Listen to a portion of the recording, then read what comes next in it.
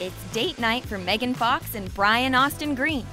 The notoriously private couple stepped out onto the red carpet together for the first time in nearly five years, and they sure look good standing side by side.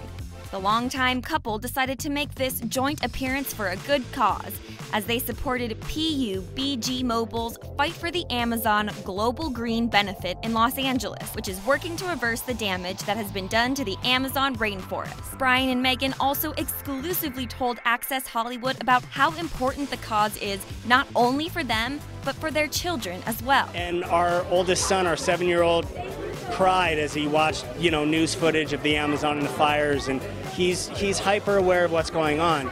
You know, we don't we don't get the opportunity to do many projects that they can really be a part of or know about or, or see. So this is this is a big one. This Brian is, and Megan have three sons together, and it's obvious they're trying to teach their kids good habits for the future.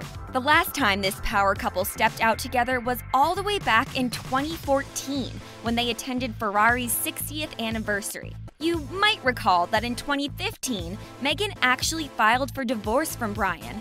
But after some time apart and a third child together, the couple decided to officially dismiss the case. A couple that fights for the climate together stays together.